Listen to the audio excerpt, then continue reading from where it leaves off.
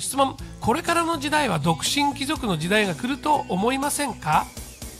これは僕の質問かどうか分かりませんけど。えー、っと思いますね。なぜかというと今のあの若者たちはいろいろなことあまずはその生活していくんだって何だってきついことは分かってるの今の状況でね。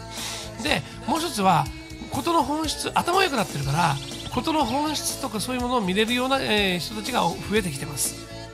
あのそういうふうに世の中に、えー、そんな当たり前だよそんなこんな本当はこうなんだよって言ってくれる人がだんだん増えてきてるじゃない、ね、そういうような、えー、ことであれば、えー、昔のように奴隷化社会、えー、ある程度に結婚して、えー、子供を産んで、え、そして、え、家建ててというふうな社会を回すような奴隷の状況から離れていく人がたくさん出てくると思うんですね。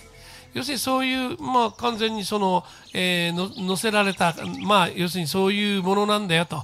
ねえー、初体を持って子供を作って子供をが生まれてそして子供を教育してそしてあの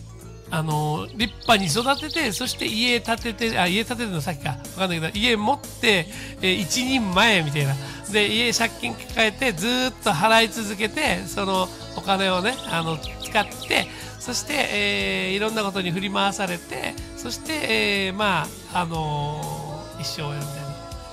分かんないけどさ。無駄なっていうかそのどこがこういうそういうものっていうところに気づいてない時代時、えー、の人たちってたくさんいますけどそういう時代からですね、えー、真実の時代に変わってくるということで、はい、そして、えー、僕も今からそういうことを、えー、さらに助長するようなあ、えー、ことをですね皆さんに伝えるような講座もすると思いますし、えー、本質的なものを見るっていう、えー、教えるということも出てくると思います。